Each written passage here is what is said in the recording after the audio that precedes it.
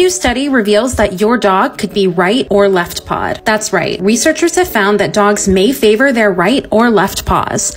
In the study, various methods were used to determine paw preference, and you can try repeating them at home. Method 1 First step test. Look at what paw your dog uses when they get up from laying down. Method 2 Kong test. Give your pup a toy filled with their favorite treats and count the number of times they use the same paw to get them out. The paw that they use the most is more likely to be their dominant one. Even though more research has to be done, paw preference might reveal more about your pup's personality.